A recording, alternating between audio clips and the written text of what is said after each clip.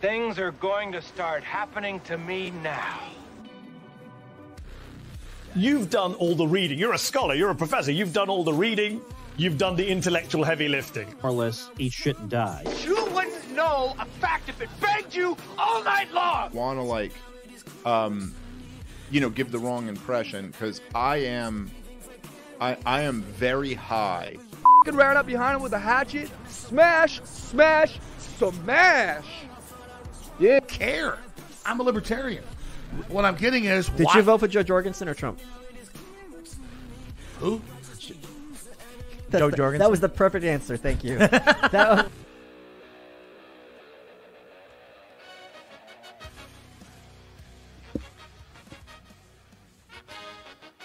And welcome everybody to the LPR Libertarian Podcast Review. This is uh, Tyler Janke, and we're talking about the fourth, final, well, the third one with Pete Quinones, but the final one, the final one with Pete Quinones, the third one with him. It's the fourth one in this segment in this series, maybe fifth if you add the one I did with Jose.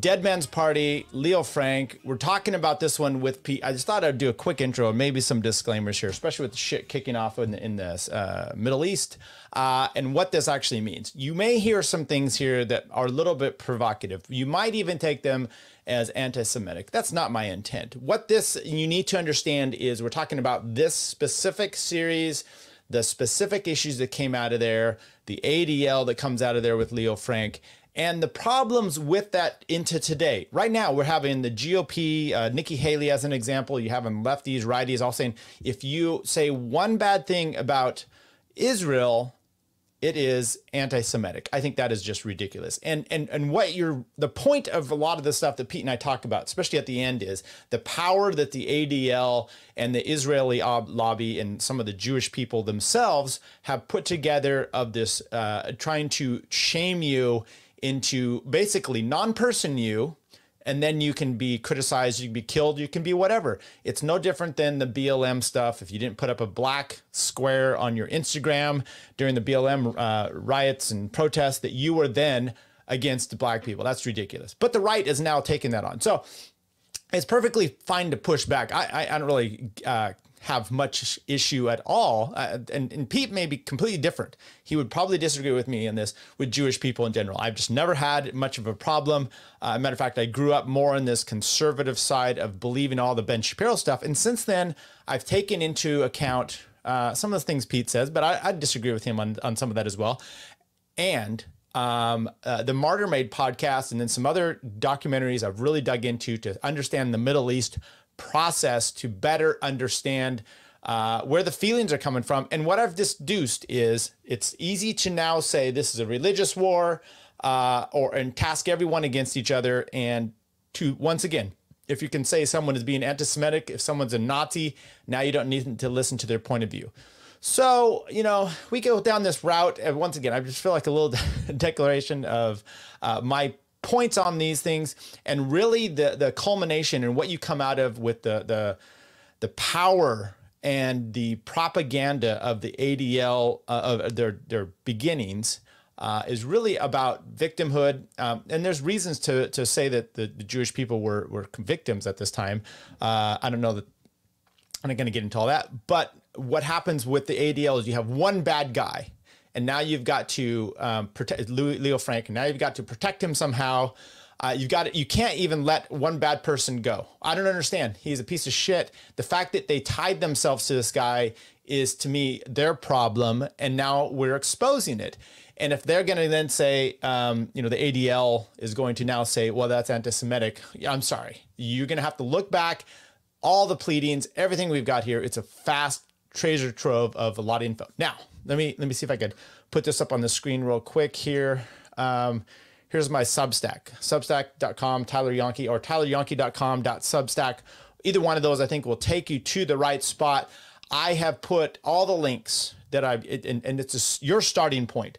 Uh, books, um, uh, documentaries, uh, audio files. There's a tons of them out there. Um, the American Mercury, they went through and, and they have, uh, it's like a website that was started by, um, I'm trying to remember the guy's name, I, but it doesn't matter.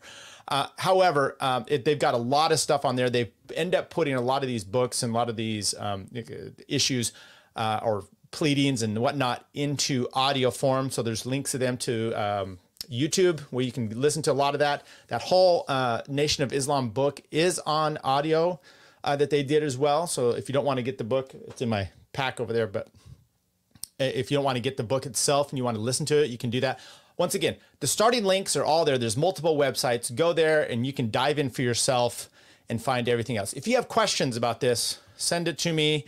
Uh, I think what we'll end up, this is the last one with Pete. And then I think I will do a complete kind of like overview and follow up if there's some other things here or some people have some questions. There you go four segments, three with Pete Quinones. I think it went really well. Uh, give his show obviously a like and a follow, mine as well, and share this out there with people. I'm putting it in a playlist. You'll be able to see it. By the way, confirmation: Tom Woods coming on the show in about a month. Uh, I must thank Pete Quinones for helping me set that up. Big, big thanks to him. So, um, without further ado, we're gonna do Dead Man's Party Party for Leo Frank. I, I haven't listened to the lyrics of Dead Man's Party in a long time. Maybe maybe it's grand, uh, it's grandiose, or, or it's um, making a big deal out of the dead man. I don't know, or are we just celebrating the dead man? Either way, part four of Tyler Janke's segments. Part three from Pete Quinones. Enjoy. show. We're gonna wrap this up now, Tyler. How are you doing? I'm doing great, Pete. Uh, nice to talk to you in a time of peace. Yeah. Oh.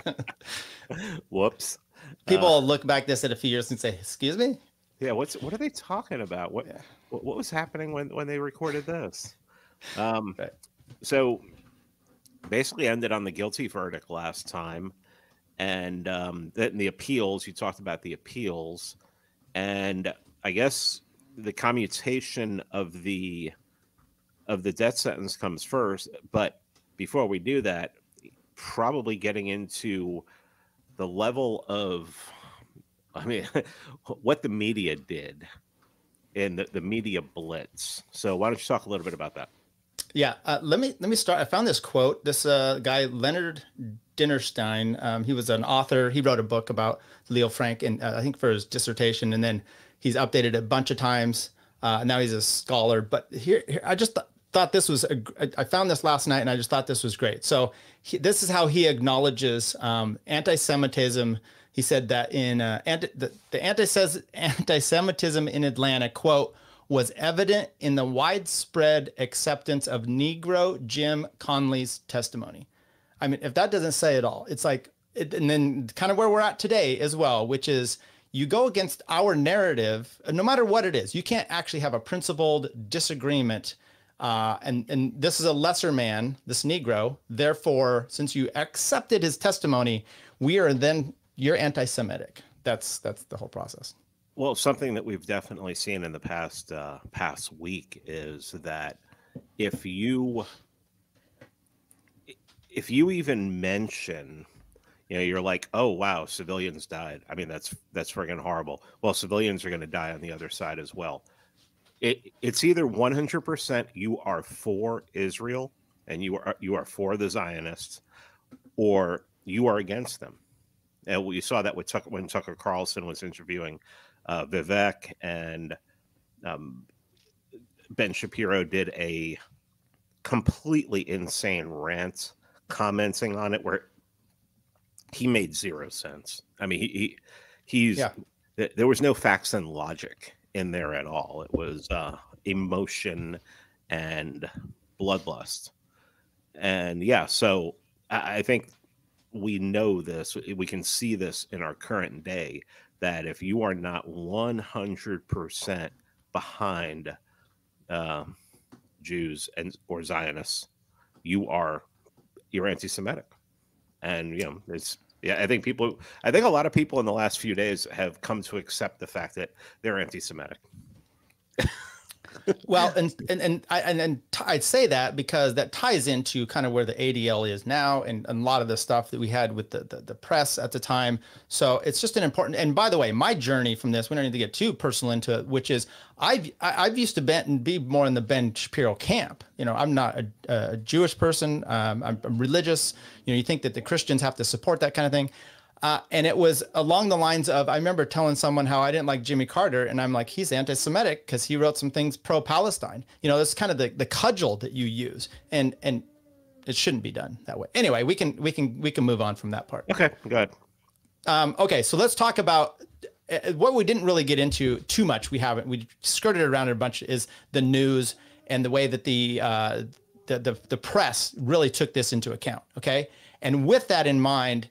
Did they come into it right away? No, it took a little bit of time for some of these um, the northern Jewish uh, families and stuff to really push into this. It started with Albert Lasker. Okay, Albert Lasker, actually, it's his father who um, I did, did find this out uh, yesterday. He was uh, he was a Confederate himself, uh, you know, slave owning family that they had down there. Uh, and I think he was from Texas originally. So this Albert Lasker is the head of Lord and Thomas. He's kind of like the what they called him the unchallenged monarch of American consumer advertising, the founder of modern advertising. You, you think of all these things that happened. He was the man that really pushed this. You know, kind of a change in 1913 with some of that. Uh, so he comes into prominence there. His dad said, "Hey, you got to take a look at this," and so he starts to um, to to take interest.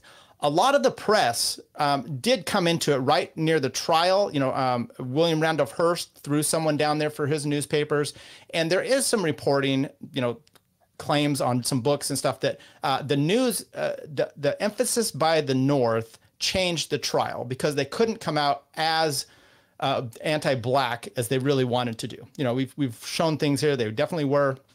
So they said they curtailed that some. However, the Nation of Islam, Islam book really shows how much uh, Lasker himself, you know, a, a, man mostly of the South, although he lives now in in Chicago, uh, Adolph Ochs, he was now running the New York Times, but he was actually a Southerner too. They had strong, strong feelings about uh, slavery, uh, the black man. Uh, they weren't any better. So I don't know that that necessarily played into it, but it, it, drew some interest. And there still was a little bit in the North, some of this pretension that uh, we're going to give blacks at least their due.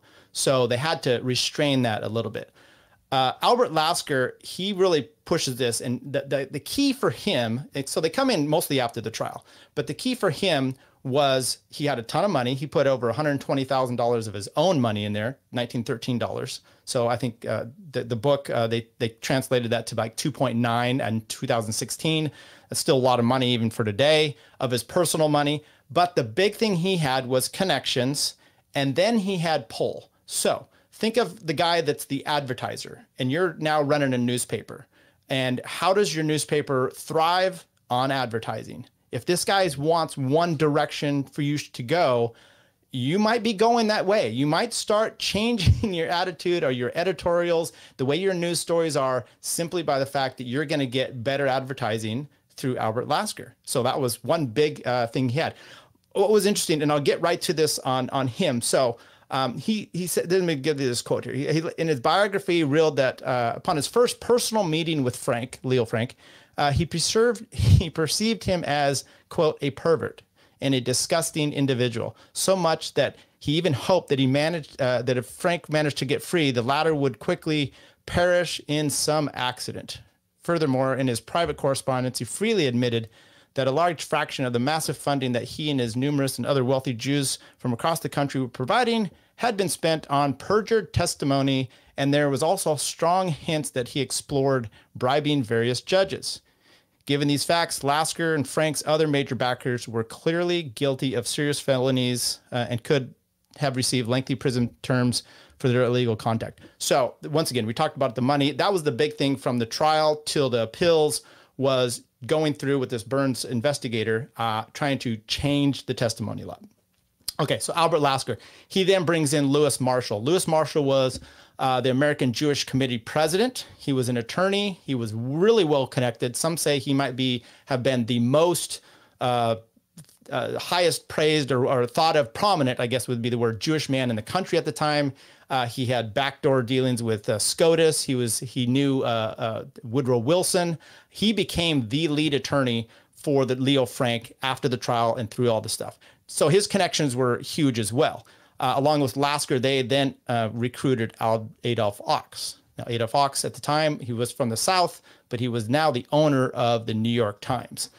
Uh, this guy he, he liked he liked to put down the blacks as well. He but he really got involved in this thing. And i, I just wonder uh, what's interesting in here once again we'll, we'll say another thing. Um, was, he had a quote here uh, lasker convinced his of his innocence. No at no point was i convinced of his innocence. Um, he also said uh, on the death of frank i'm sure that it was a relief to mr Ochs who frank lynched uh, who have Frank lynched and out of the way. I have felt for some time that he secretly despised Frank. That's what one person said of Albert Ochs after he was done.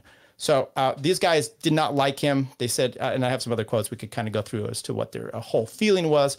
They also then brought in Jacob Schiff. Jacob Schiff was a Wall Street financier at the time. Shocker. Oh, I know. I, I know who Jacob Schiff is. Okay. what do you know about him? Um, he financed the Bolshevik Revolution. Okay. Well, in, he in, also in Russia. I mean, to to the tune of two hundred million dollars.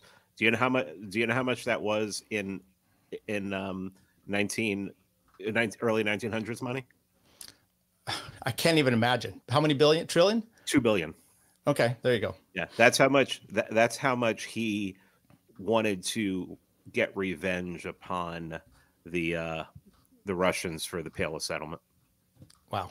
well, what's interesting, his connection, he started in, he was a financier, he was helping this as well. But his thing actually is he had connections with Georgia and Slaton, the governor Slaton, and he actually, there was a, to, to help with um, the, the, fund some cotton uh, industries and, and through the state there he got i think it was a 139 million dollar loan for the state of georgia this is right at the time of the commutation because remember when um, judge slaton commutes and we'll get the spoiler uh, when he commutes uh, Leo Frank's uh, sentence, he then get is out of office in like a few weeks, if even mm-hmm. that long.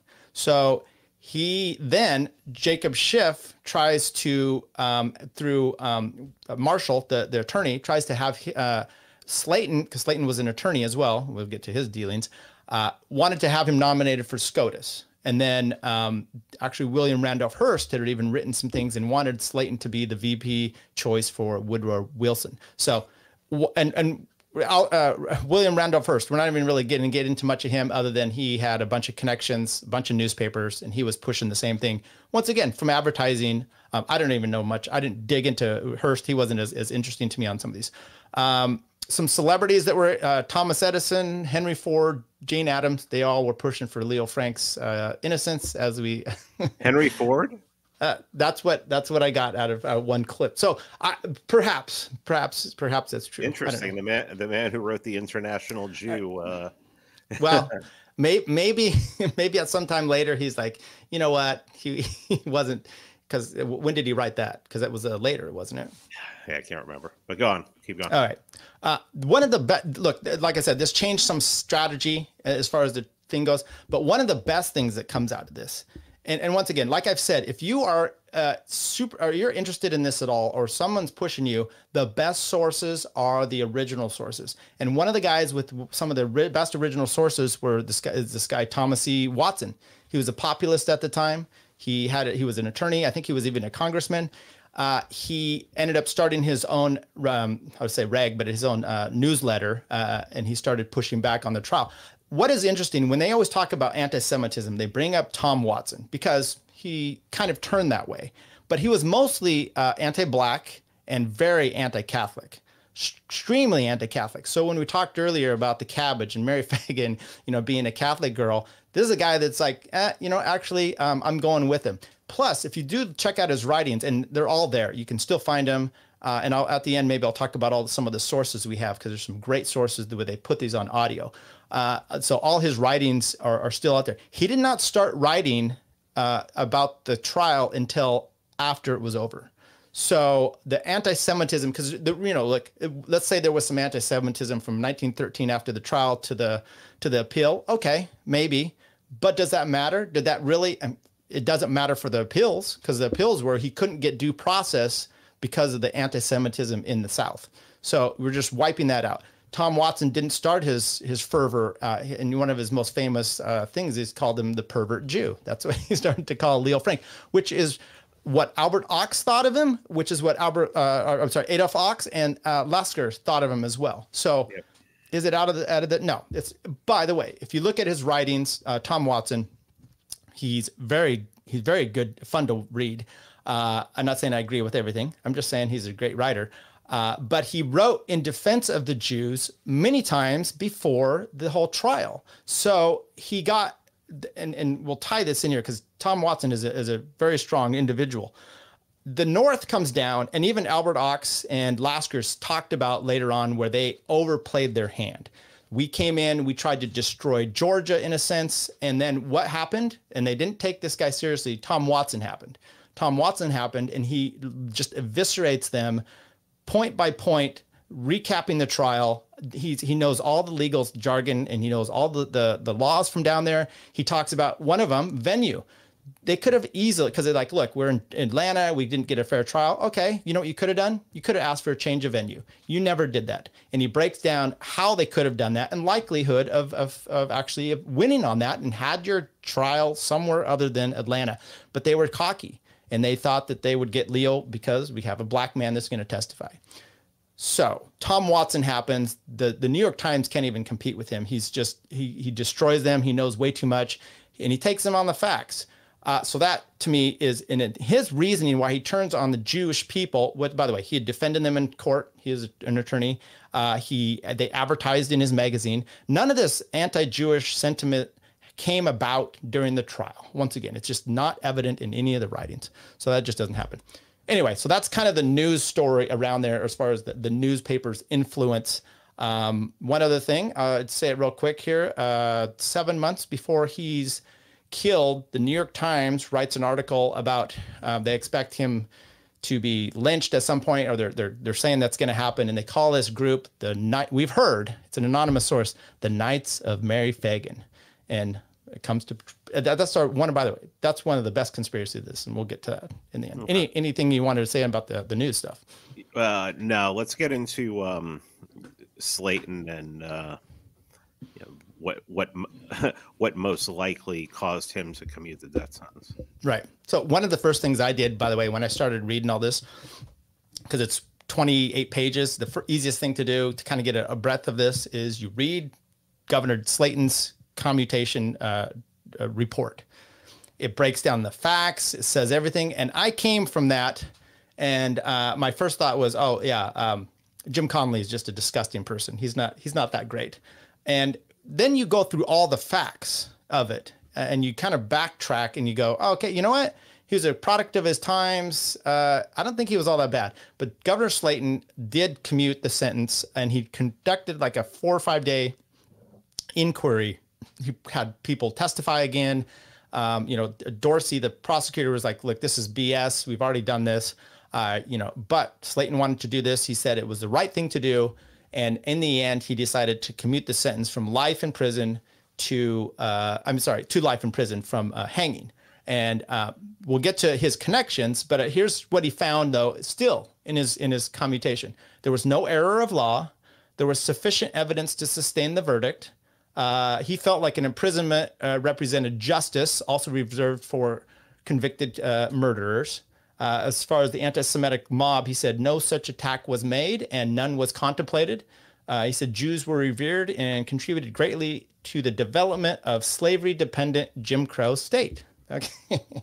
I always uh, like you got it. You got to do this because now you you look at the ADL and there, and I'll I'll play. Uh, we'll get to that. Uh, he made his commutation based on what he considered new evidence, much of which was produced by the disgraced detective William J. Burns, who we've talked about. Ochs, uh, Lasker all said they perjured pe- people up and down the, the state of Georgia trying to get this thing. So that was his. Of Connolly, the black guy, he said the evidence shows that Connolly was as depraved and lecherous a Negro as ever lived in Georgia. There you go. By the way, uh, I don't know if we, we finished this, which is um, Jim Conley does get convicted for uh, like an accessory after the fact, spends a year in jail for for his crime, and um, dies, you know, ripe old age. I think in the 1940s, 1960s, something like that. Uh, never hit the the news wires again for crimes. Which, if he was this disgusting sexual pervert, by the way, that movie I saw in, uh, in the 1988 one, he is he's like Gollum in a cell, and this black lady's there, and he's I, he's almost like jerking off because he's just so they they show him as just this lascivious, uh, oversexed person. It's it's wild. It's wild. Yeah, I'm not shocked. I mean, who made that? Hollywood. right. Yeah, Bob Lemon, uh, the, Bob Le- Lennon, Bob Lemon. He was the old guy, the dirty, grump, grumpy old man. Uh, Um, is that his name? Is that his name? Jack Lemmon. Jack Lemmon. Sorry, he he played Slaton. And by the way, there's an old movie in the '60s where Walter Matthau plays Slaton. So those guys team up to play the same Oh, guy, and then later on they're grumpy old men. The original. Well, and weren't they the original Odd Couple too? I think. Yeah. Yes. Yeah, yeah. So they just had the, once again. That's yes, they were. Yeah, and I think Charles Dutton actually played. um, Charles E. Dutton was the yes, the, yeah, the black guy. The yeah. Yeah. It's it's it's All right. wild. All right, so um, commutation of the death sentence, and um, By the way, uh, I, just remembered something. Sure, Uh. Albert Ochs and some of these they decide to do run a portrayal of the the crimes at one point. So they have actors and they do all this stuff. Uh, and I always find this funny because um, if you've ever seen Birth of a Nation, they like to do this too, which is you can't use a black man to portray a black man. You use a white person in blackface, and it's uh, it, it looks so creepy from now. But anyway, he did that as well. Um, but yeah, that's Sorry. that's that's amazing. So um, commutes a death sentence, and then um, some people start moving, going, uh, you know, just making decisions. Yeah, so uh, Slaton actually he takes off, and and they they they moved the the prison for where Leo Frank is from one to another. By the way, if you read all the stuff about um, the the discussion at this point, Leo Frank is really loving his notoriety. He's starting to have people come visit him at the at the uh, the prison. He he talks about how wonderful his conditions are there. Uh, people are sending him money, and he's just he's loving life uh, the way it is. Uh, they move. Uh, he gets slashed in the neck at one point. Um, someone tries to kill him. Uh, they save his life, and then uh, a few days or a week or so later, a, lynch mob breaks into prison. This is like a team or something. Breaks into into prison, takes him out to uh, I think it was in Milledgeville, and they take him to uh, Marietta, where uh, Mary Phagan uh, was born, and they string him up and they hold they they lynch him basically. So. Uh, and there is there's actually a picture out there. yeah, yeah, there is. We won't uh, we won't be providing that or anything. No, they they put a nice cloth over his face though, so you They can't did. really tell. Yeah. Yeah. So, um, well, why don't you talk about the fact that it does eventually? I mean, he does get. I mean, this is jumping forward. He does get pardoned. Yeah, maybe we need to finish off Slaton because there is one connection Slaton? we didn't. Yeah, yeah, we didn't. yeah. we didn't talk about there. Uh, I Slaton's mean, we can do the Slaton World Tour. well, yeah, you might know a little bit more about that than me, actually. Uh, what I found was, okay, he's governor from 1911 to 1915. You know, the murder happens in 1913, so there's what a two-year span that he uh, of elections. He just gets elected governor right before the murder or around there. Uh, and he had merged because he's an attorney. He had merged law firms with Luther Ros- Rosser, who was the criminal, uh, the defense attorney for Leo Frank. Okay, they had just merged, so he can't practice law, so he's not doing that. But let me tell you, after after he uh, commutes sentence and he's done, he goes back and works for the law firm. Uh, like I said, Jacob Schiff tried to get him either put on uh, SCOTUS. Uh, William Randolph Hearst tried to put him on uh, as a vice president. Schiff's letters to um, to Slaton indicated that he would give him this cotton loan at 100, like I said, like I think it was a 139 million dollar loan. But first, he asked him, "How do you feel about Leo Frank's innocence?" And by the way, this money is he hinted it was conditional on that. So anyway, there's good connection that um, Slaton was perhaps bought off, or he thought it was in his best interests to do this. Plus, as you can see, what he thought about uh, Frank uh, or uh, Jim Connolly, um, you just believe the the quote unquote. I have to do it for you, Pete, white guy, in this one. What do you know about? And by the way, he uh, Leo Frank's uh, murdered, and um, Jim Conley is actually in California at the time, and he hears the news. What do you know about him? From what I heard, that um, Slaton immediately once that happens and once the news of the the lynching comes out, he immediately runs to New York, Mm. and he runs to the people who, you know, the, what they assume is the people who paid him uh, to do this, and there's no chance. Eh, no one's going to run him for SCOTUS now. No one's going Right. to run him for vice president now.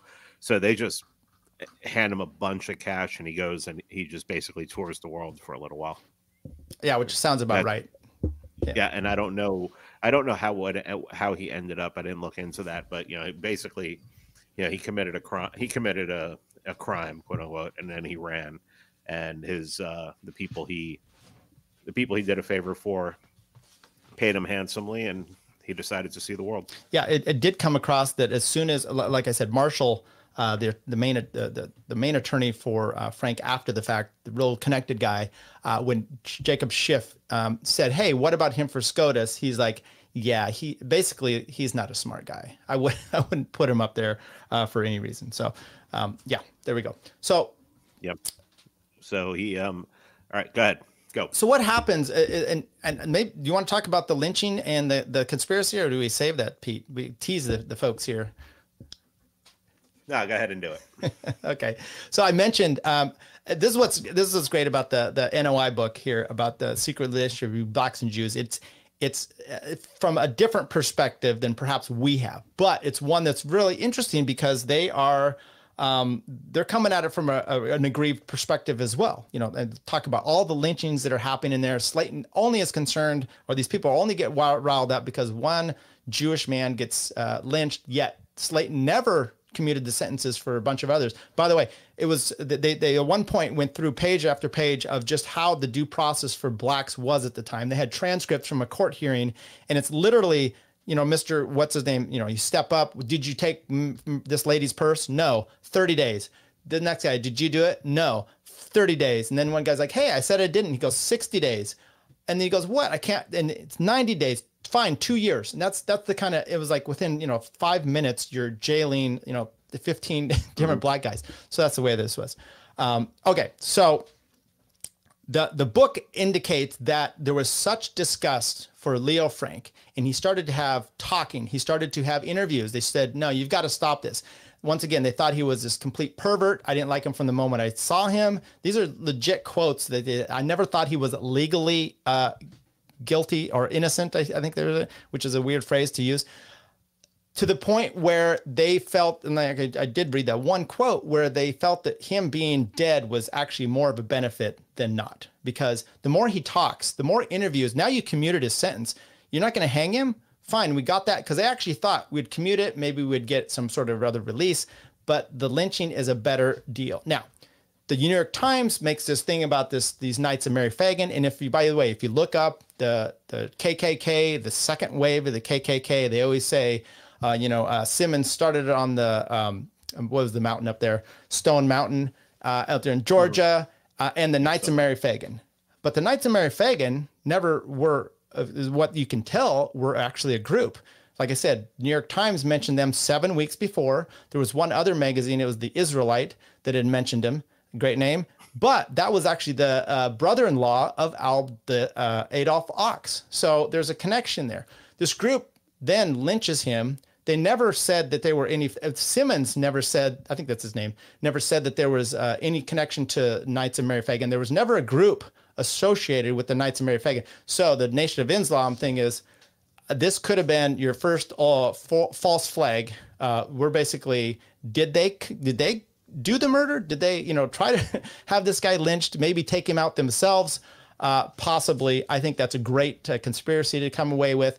Either way, it was a benefit for the ADL and everyone else involved. Um, actually probably on both sides to have this. The interesting part of the the Knights of Mary Phagan is you you, you mentioned the the the the, the picture of, of Leo Frank being hung, guys are sticking their head to try to get in the picture. They're not hiding their faces. They would take uh, pride in this, and that never happened. And by the way, Simmons also, uh, uh, when they started the KKK at that point, wrote proudly of the Jew or uh, nice of the Jews. He didn't have an issue with them. So once again, we just want to emphasize this KKK formation out of Mary Phagan, anti-Semitism. The connections are not there. Well, the um, I guess one of the arguments is, and E. Michael Jones talks about this, is there's no real consciousness for anti-Semitism in the South at the time, but it really seems like because of everything that happened with this trial, everything surrounding it, the press, the the commutation, the the just everything that this was really like the the genesis of hey these people these people have a lot of power. These people um seem to stick together and they want to be above the law maybe we uh maybe this is a group we need to look at Uh, the KKK or the or the other the, the Jewish community. um well no i'm thinking the southerners Oh. the southerners in general the consciousness this helps this helps to build the consciousness of um you know the idea that jews are just in it for themselves and they'll Hmm. do anything to protect their own people and very you know look uh you, you read the tom watson stuff. I mean he was very uh put a put it back by the the northern aggression in words in the way that it's all went down. Very much could be. I mean but but once again uh, the birth of a nation comes out. I just want to emphasize this. The birth of a nation comes out in 1915 and uh, that's right out you know right around the lynching actually it was after. It made a killing. It made a killing in uh, georgia. Uh, I think did I mention that uh, MGM basically was founded off the funds that were created from that movie? There were Jewish, uh, you know, brothers that had the, the movie in the South. Uh, they said at what is it in um, seven thousand Jewish people in uh, Georgia at the, around the time of the trial, and there was a study done that it went from uh, four thousand in nineteen ten to twelve thousand in nineteen thirty seven. So you're looking at three hundred Jews a year coming into the area. They, they weren't they weren't slowing themselves down, but the sentiment could very well have been once again uh, the way that the press really tried to push this as uh, once again uh, we're backwards place letting the black guy talk everything. Yeah. Yeah. All right. So um i know this is this is a little bit forward now. Let's get to the pardon. So to to even set up the pardon the adl forms 1913 once again livingston this, this livingston guy started it in chicago but he was had 200 bucks in his office and real the real power was down there in georgia. So it comes out of the B'nai B'rith uh, situation. And why did i just lose my train of thought you were talking about um we're, we're talk, you said the adl we are talking about the pardon Oh, yeah. you, still got to start with the adl you know luckily that doesn't happen to me in court but if it does i'll, I'll, I'll call up pete um, so the ADL is pushing the the pardon for for quite some time. The the Georgia Board of Pardons is like, no, this isn't happening. We've already had everything. You know, good luck.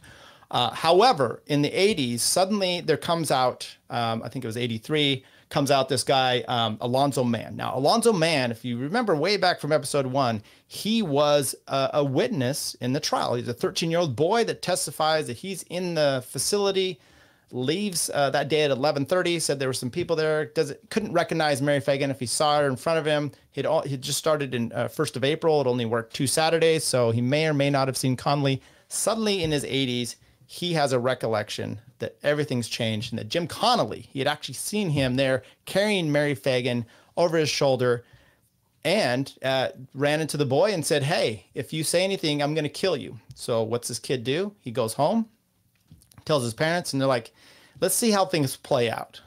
That, that black man seemed uh, really dangerous. So, uh, he goes and testifies at the trial. Uh, you know, not much in there.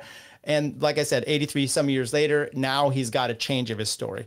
Uh, once again, the best part about look, there's several books um, that, that perpetuate um, myths over the years. One of them talks about kill the Jew or we'll kill you. That was a, a phrase that happened. The first writing that that ever came out in was like 1965. So you go back to all the contemporaneous stuff, it's never there. He repeats that. Oh, there was a guy when he went to the courthouse, had a gun. Now let's think back here. Who are you more afraid of? Are you really afraid of Jim Conley, who gets arrested on May 8 and is incarcerated all throughout the trial, spends a year in jail after the fact? Are you really worried he's going to kill you and your family in the South, in Georgia? It's it doesn't make any sense.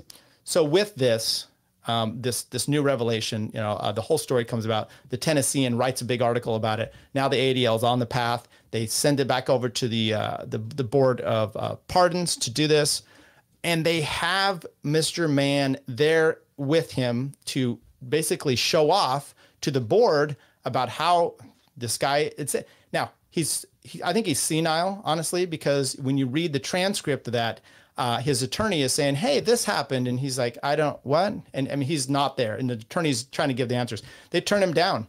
However, they come back a few years later, and the board of pardons, I think, just gets so inundated with the pressure that they actually um, they do pardon him. But this is important because uh, let me see if I could get to the actual pardon statement here. Um, let's go. I have it in my book here. So, because uh, it's what's important is everyone, if you even watch on the ADL the website, um, and they have a little thing about the ADL, the formation, the hundred year thing that they had. It talks about now he's been pardoned, um, but um, I think this is. Oh, here we go. This is what they said. Without attempting to address the question of guilt or innocence, and in recognition of the state's failure to protect the person of Leo M. Frank and thereby preserve his opportunity to continued legal appeal of his conviction, and in recognition of the state's failure to bring his killers to justice, and as an effort to heal old wounds, the State Board of Pardons and Paroles, in compliance with its constitutional and statutory authority, hereby grants Leo M. Frank a pardon. Now, they had denied it previously because he's not a live person. There's really nothing to pardon. And I think that's the statute. So it almost seems like illegally they didn't do the right thing. But it's important to note there, they emphasized, started out with, we're not talking about his guilt. This is simply you took we couldn't protect him. You took him out of the the facility and you lynched him. Therefore, we're doing a posthumous pardon.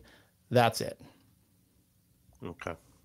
Okay, that's interesting. Yeah, I mean, it's like it's like the, the way they parade Biden around now, Mm. who's a complete, you know, whose mind is completely gone. They bring this guy in, and um, yeah, all of a sudden, you know, it's like, oh, it took him what seventy years to grow the nuts to to say this. You know, it's like now it's okay to say it. You know, Yeah. I mean, it makes it makes no sense. I mean, you would think he would have, you know, after the Civil Rights Act. Oh, now I'm protected. I mean, it's it's just it, it's just ridiculous. Um, did we talk about hoaxes? Uh, uh, we can talk about that. One is um, the bite marks or the kill the Jews or we'll kill you. That was kind of the, the first one. Right. To start with that, since I mentioned it, um, the, the, the only way that they can trace any connection to that is uh, evidently um, Luther Rosser or the, the defense attorney at one point got a phone call preparing for trial, and someone you know that said uh, kill the Jew or we'll kill you on the phone, and he's like, eh, he didn't do anything about it. He didn't really care because who cares? Uh, so no one ever said anything about that, and and it never. And I don't mean it that way, Pete, but that's fine. No, it's fun, but it's funny though.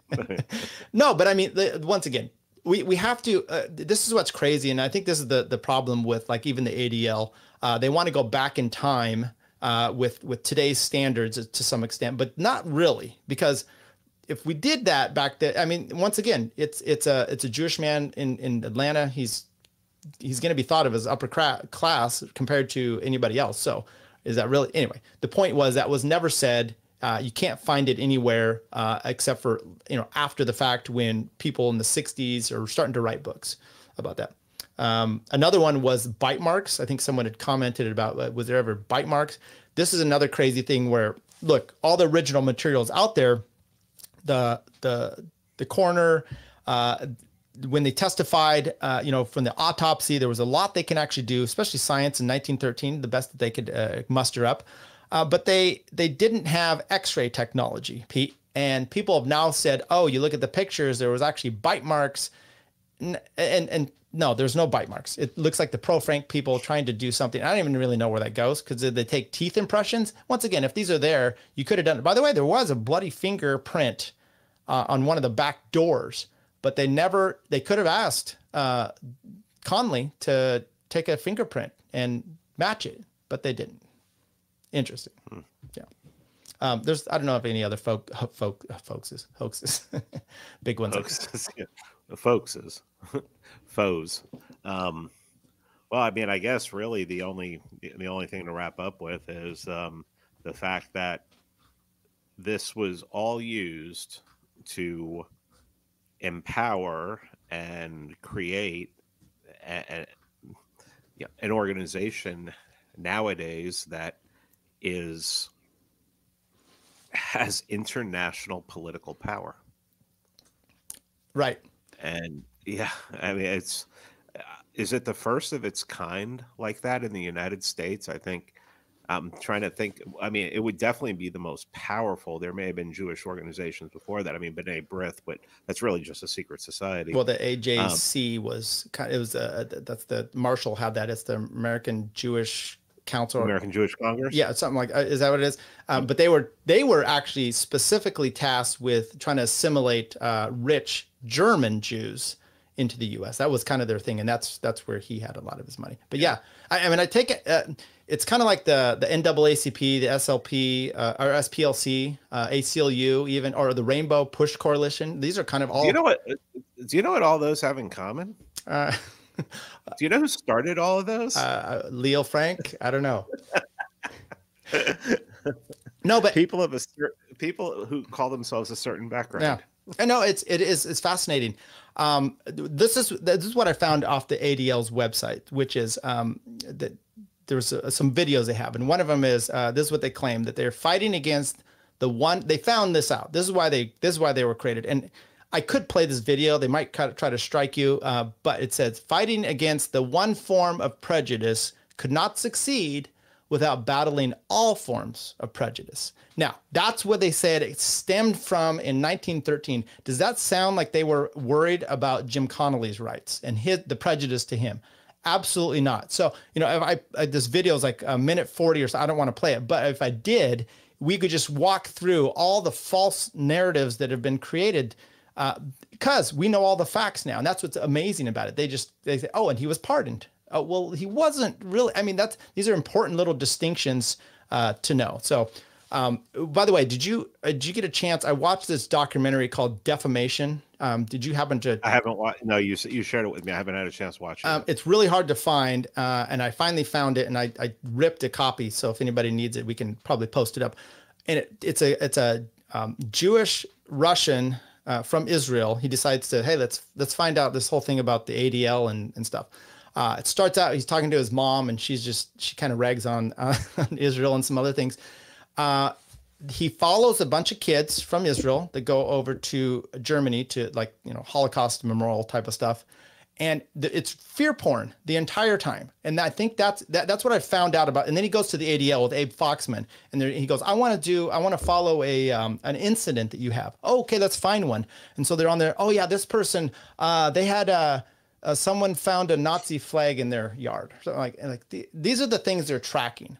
So at some point, and then he talked to uh, Norman Finkelstein, which was interesting as well. He talked to a, a more Orthodox uh, Jew in New York, and the interesting part, especially the Orthodox guy, was more along the lines of this Zionism stuff. It's what it does is it actually perpetuates anti-Semitism. And, and then you go and you see what's your definition of anti-Semitism, and it is so broad. Pete, it reminded me of the the good old days of the Jesse Jackson, the Rain, Rainbow Push Coalition, where someone I went to the University of Colorado. I'm out there.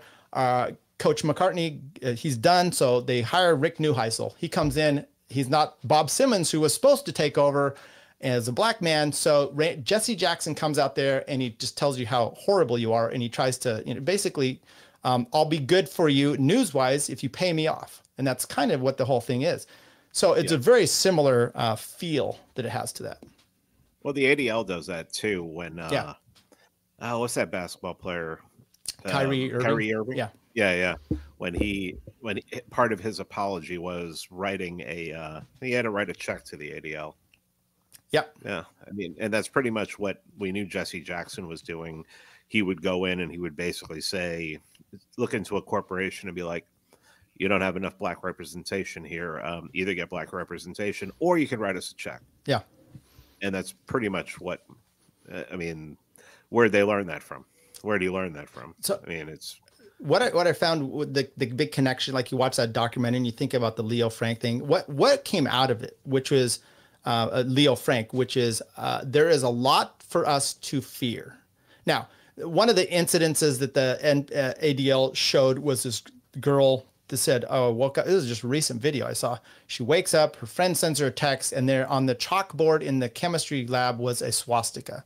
She was just in fear, Pete. She was in fear. Now, I, I've been. I'm not a, a Jew, but uh, things have happened to me, and um, I'm sorry. I just don't. I don't have the fear of every little thing at high school like that, and most people don't.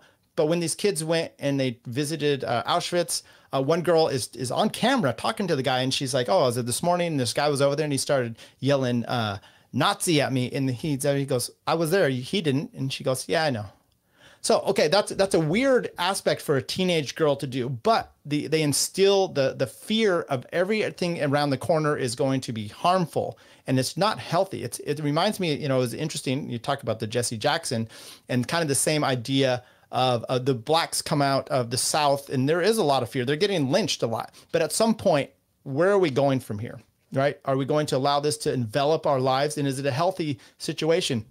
we I, am sorry to preach on on this, but this is kind of what you see now, and this what we have of criticism has to be, and if you criticize in the wrong way, you're going to be labeled, and the label itself is the way that they can try to, uh, well, censor you. Right. Yeah, it was. Um, it really seems like they have their own history, and they create it. I don't know if you've seen the uh, Ben Shapiro history of Israel that's going around, where he just basically gives the Israeli side on everything. You know, no mention, you know, um, no mention of anything, any kind of, no mention of um, the King David Hotel bombing, no of Irgun, no mention of Lehi, um, no mention of the Lavon affair, no mention of the USS Liberty, um, no mention of basically anything, anything. No mention of. He talks about how they acquired the Golan Heights uh, in the '67, and it's like you realize that that's like against inter against international law. You cannot get you can't gain land by by war anymore. And he, what? I just said I, I don't know. That's not my my thing. Uh, I'm right. learning more, but uh, Dave Smith did break that down, and I thought it was yeah. very good. And he said one thing that I thought was uh, actually great, which I've actually had a judge tell my client, which is, you know, you come here to swear the truth, the whole truth, and nothing but the truth. The, uh, omissions are just as bad, and that's what Ben uh, failed to do because you can't have this honest uh, discussion. And and by the way, it's it's so weird to see a guy in Congress who's a Christian wearing an IDF uniform. Um, you know, I'm German. Am I? I'd be, you know, that would not happen. I, but you know, but um, yeah, it's it, it, they're. I I don't know how you know it's a lot of what you've seen this week is um how they basically want you to believe that Israelis are just good. They they never do anything wrong. Um, you know, no, there, there are no settlements, no settlers. Uh, settlers never kill kids just for fun, which they do. Um, and kill Palestinian kids just for fun. They do. They're, they're, it's not human shields. It's uh, you know not them throwing stones and hiding. No, it's they just the settlers are the most radical of the of these groups, and uh, of of the Israelis. And um, yeah, you don't get that, and you know lies by uh, lies by omission. If you're just going to tell, give your side of the story, um, I'm sorry, you've you've lost the right to be trusted.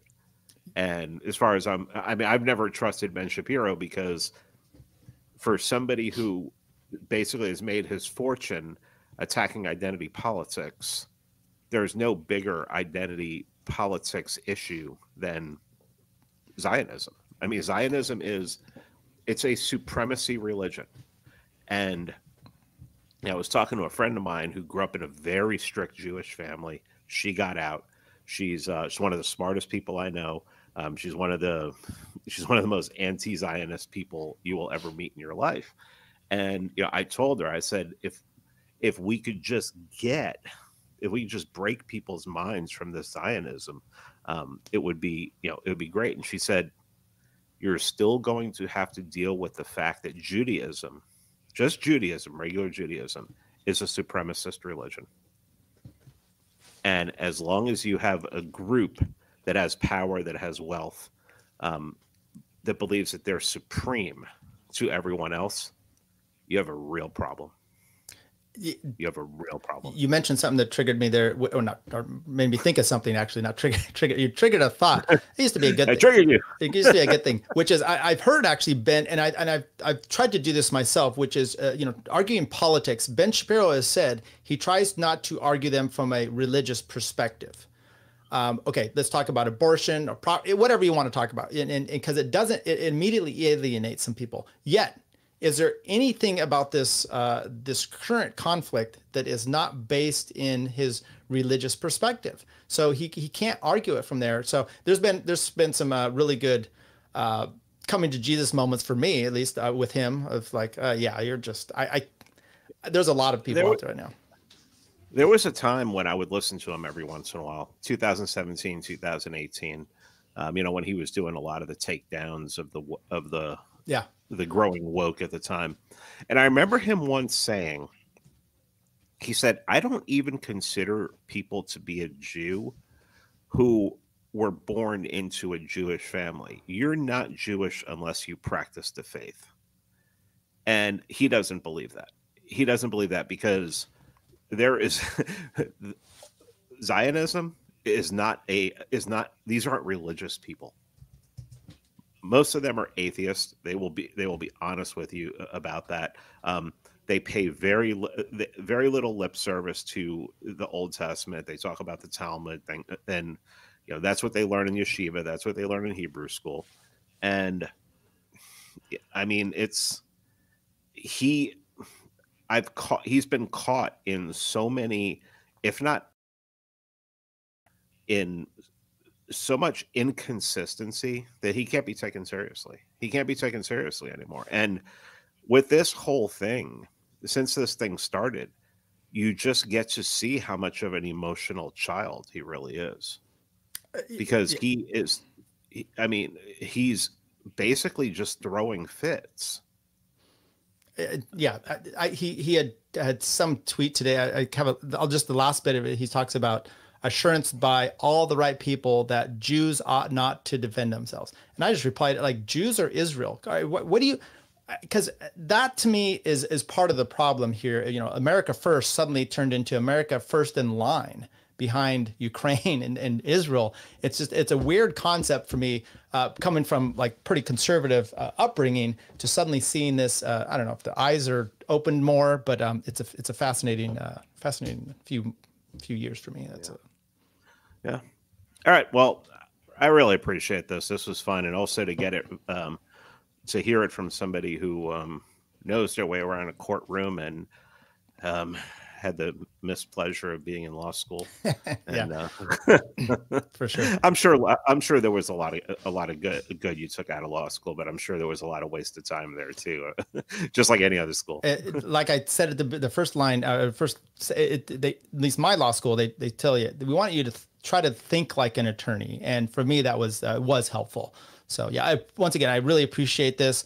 Look, the, what you can take away from this is if someone's bringing this Leo Frank thing up, now you you at least have parts of this. You know, like I said, when I first read the commutation, I'm like, oh, maybe this guy's, and, and then you go through it, and it's it's a it's a slam dunk case that um, people have had to glom onto. And and once again, why is this guy the the person that? Well, I think we've talked about it, and it's to create. They they got caught up with themselves. They pushed this thing too hard, and now they have to stick with it, um, which is it, it's fear porn. And um, you don't have to you don't have to go down that route. You could easily say Leo Frank was a pervert Jew. just just like they just like his um his fellow his, the fellows who went down there to um to defend him Yeah. said you know he's a pervert and um you know, maybe maybe they did uh eh, let's leave that alone Yeah. thank you tyler Thanks. i appreciate it But she's back. Chick fil A is completely overrated. It's not that good. I prefer Zaxby's, I prefer Popeyes. Takes a tough man to make a tender forecast, Nick. I guess that's me. Keep fucking that chicken. For, should I vote for Dick Cheney on the Libertarian Party? Do I have an obligation to vote for Dick Cheney? I would say so. Yes. Did it work for those people? No, it never does. I mean, these people somehow delude themselves into thinking it might, but but it might work for us. That one dude was like, not a podcast. I can't find it anywhere. And they don't have video. Oh yeah, Peter Janke. Yeah. Yeah, I blocked him. I'll do it. If he unblocks me, I'll. I'll... He'll buy your shirt if you unblock him, Bert. He's a wigger. Yeah, nothing cooler than So a we 49 see- year old wig. like- I just all I started live streaming. Cut me some slack. I'm fucking. I'm pretty high tech for a boomer. Uh, but anyways, For a I- boomer.